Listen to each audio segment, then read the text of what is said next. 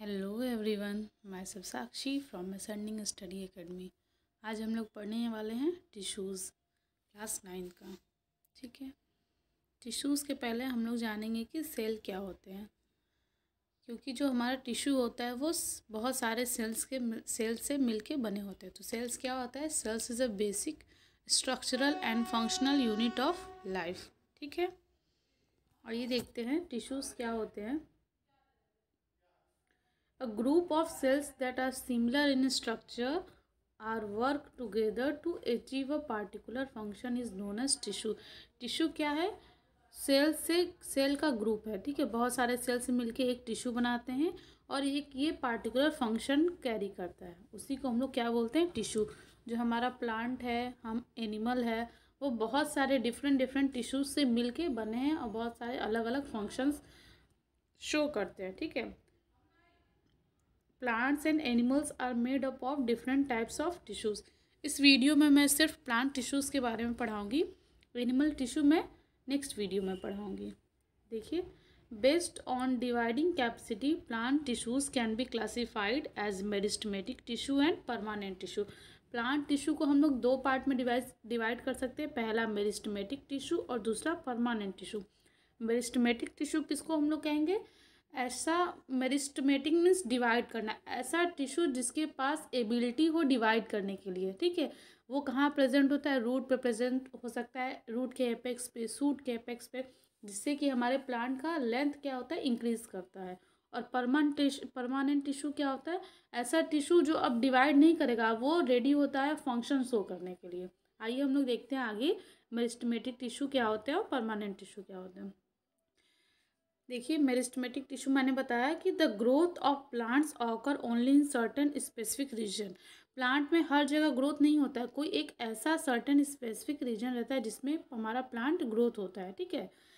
ऐसा क्यों होता है? Because the dividing tissue is also known as meristematic tissue is located only and some region of plants क्योंकि जो हमारे प्लांट में जो मेरिस्टमेटिक टिश्यू जो कि डिवाइड करता हो सेल्स वो कुछ ही जगह पे प्रेजेंट होते हैं। इसलिए हमारा जो ग्रोथ होता है स्पेसिफिक वे में होता है। ठीक है, जैसे देखिए इस फिगर में दिखाया गया है कि बेस्टमेटिक टिश्यू कहाँ कहाँ प्रेजेंट होता है। Apical apical of shoot shoot के एपिकल में, इसलिए प्लांट लेंथ में डिवाइड कर रहा है। इंटर कैलरी मेरिस्टमेटम तीन टाइप का मेरिस्टमेटिक टिश्यू होता है, एक एपिकल टिश्यू होता है इंटर कैलरी और एक लेटरल मेरिस्टमेटम ठीक है? लेटरल क्या होता है? इसके गर्थ को, इसके वाइट को, जो इसकी चौड़ाई है, उसको बढ़ाता है, ठीक है? इंटर कैलरी जो लीव के नोट्स वगैरह के पास, जैसे देखिए, इस फिगर में दिखाया गया है, ठीक है? उसमें प्रेजेंट होता है और एपिकल शूट और रूट दोनों में प्रेजेंट होता है, जो कि लेंथ रूट का भी बढ़ाता है और शूट का भी बढ़ाता है।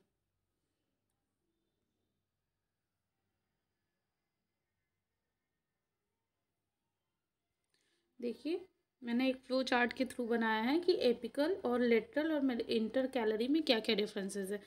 जो मैंने बताया कि एपिकल कहाँ प्रेजेंट होता है? Apical occur at tip of root and shoot ये रूट और शूट के टिप पे प्रेजेंट होता है एपिकल मेरिस्टमेट ठीक है?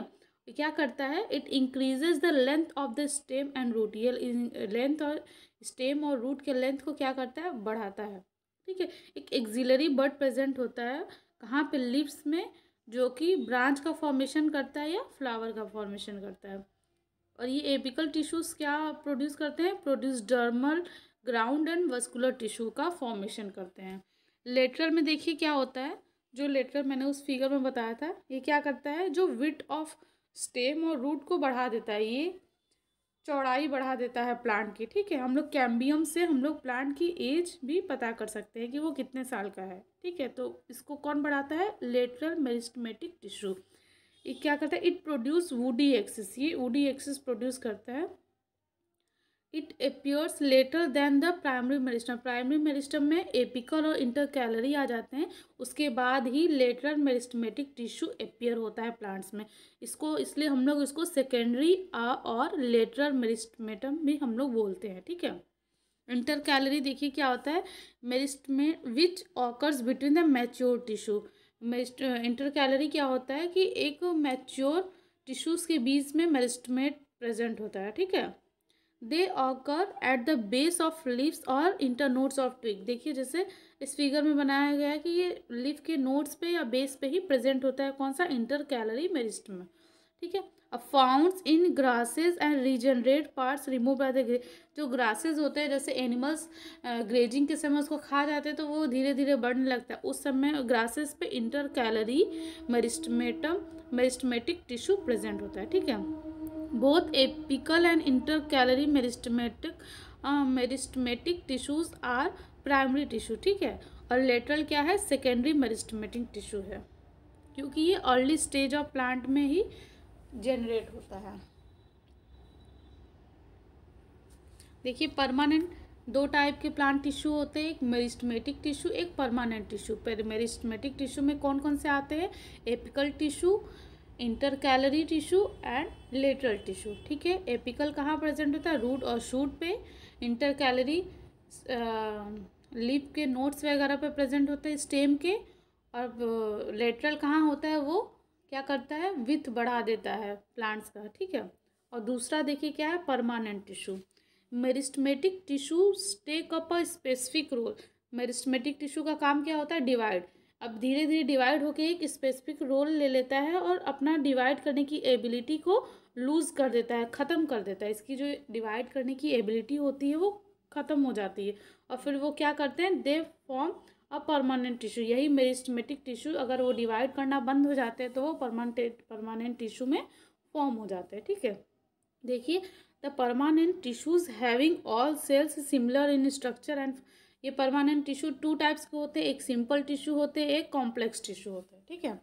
तो सिंपल टिश्यू किसको को बोलेंगे? ऐसा सेल जो कि सब सिमिलर इन स्ट्रक्चर हो, सारे सेल्स एक जैसे, एक समान हो सिमिलर हो, और कॉम्प्लेक्स टिश्यू किसको बोलेंगे? जिसका cell different types of cell present हो जिसके अंदर, ठीक है? द पर देखिए सिंपल सिंपल टिश्यूज क्या होते हैं? Simple permanent tissue, the permanent tissue having all cells similar in structure. ऐसा सेल जिसका स्ट्रक्चर सिमिलर हो, ठीक है, और फ़ंक्शन भी, उसको हम लोग बोलते हैं simple tissue, simple permanent tissue. Complex permanent tissue क्या है? The permanent tissue having many different types of cells and different functions are known as complex tissue. आइए देखते हैं सिंपल टिश्यू कितने पार्ट में डिवाइड है, कॉम्प्लेक्स टिश्यू कितने parts में डिवाइड है। देखिए simple permanent tissue three parts में डिवाइडेड पेरेन कायमा कॉलेन कायमा स्क्लेरन कायमा मैं एक एक करके तीनों के बारे में बताती हूँ। देखिए, पहले पेरेन कायमा कैसा होता है? एक ऐसा स्ट्रक्चर होता है, ठीक है? इसमें वैक्यूज क्लोरोप्लास्ट ये है पेरेन कायमा इसका फ़ंक्शन देखते हैं क्या क्या है? देखिए।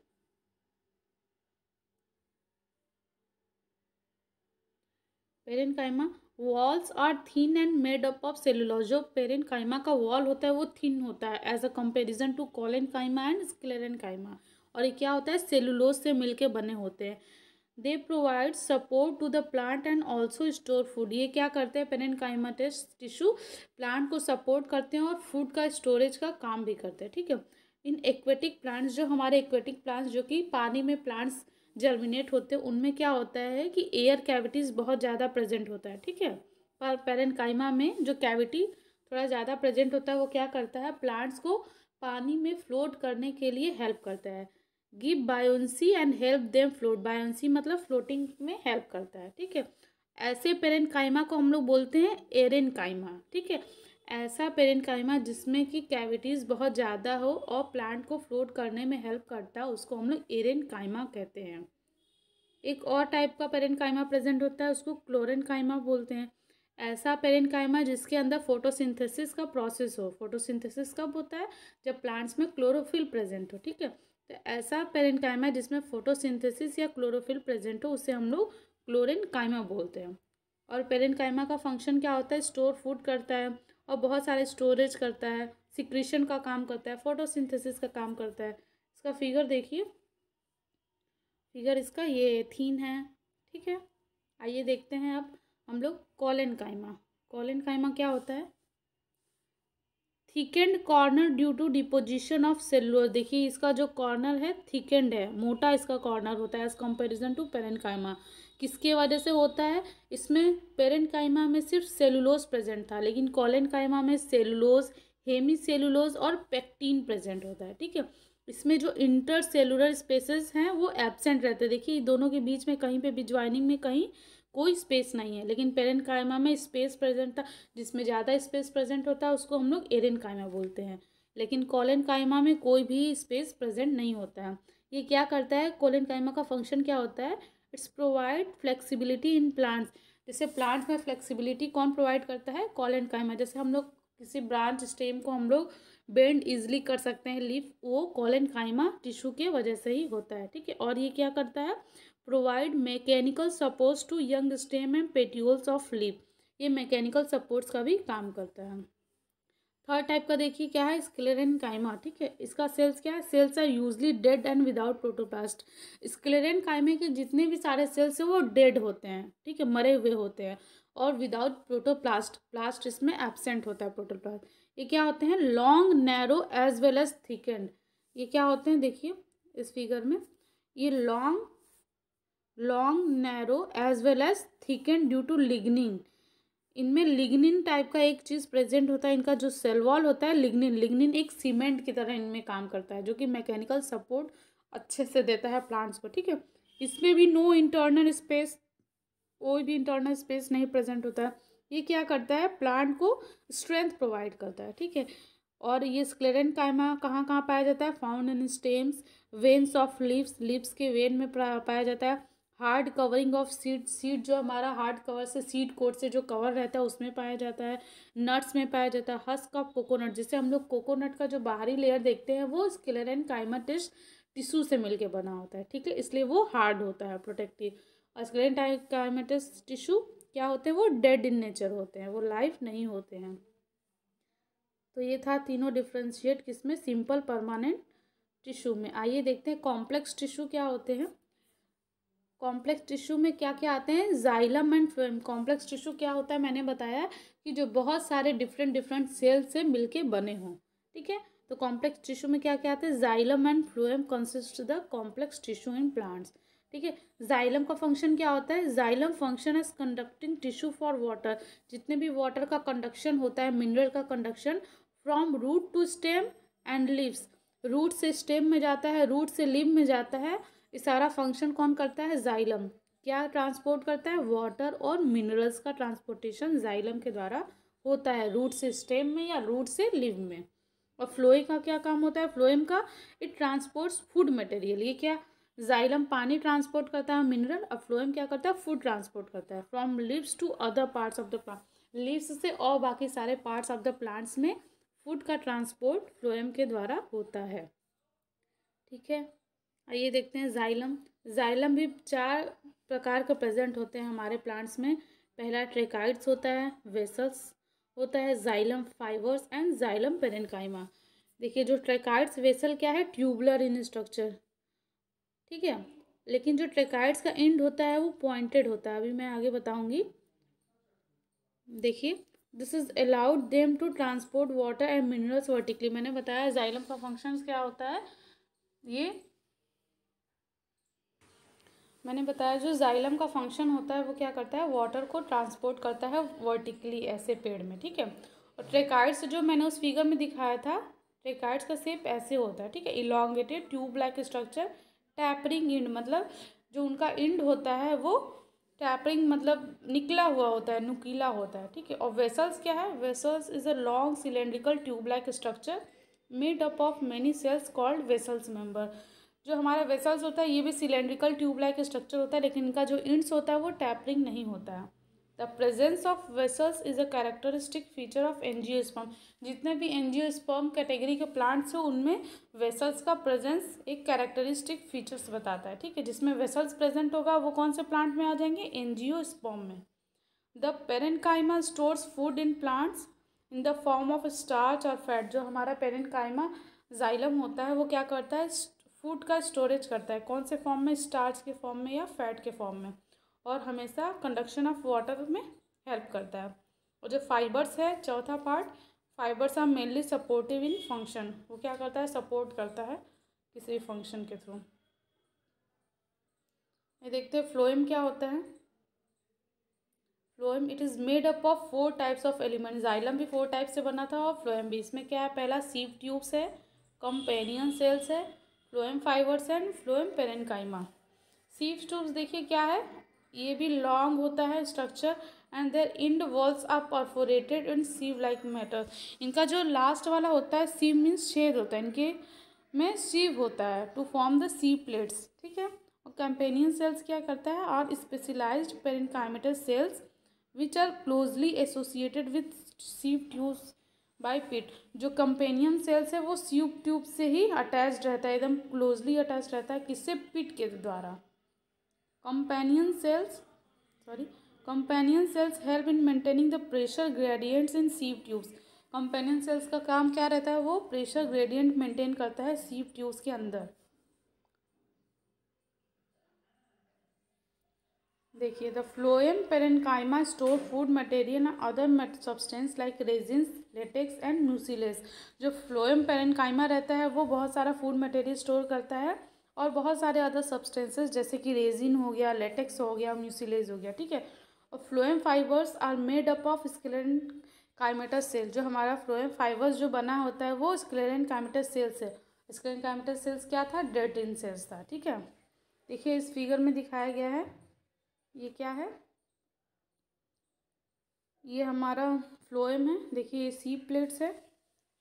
ये कंपेनियन सेल्स है। ये सीप ट्यूब्स है। ये साइटोप्लाज्म है। ठीक है?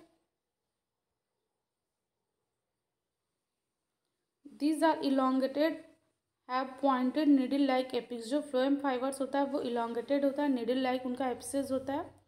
फ्लोएम फाइबर्स का क्या फ़ंक्शन होता है? Phloem fibres are of jute flax hemp are use for commercially हम लोग जो जूट का फ्लोएम फाइबर्स है हिम्प का है फ्लैक्स का हम लोग उसको कॉमर्शियली यूज़ कर सकते हैं।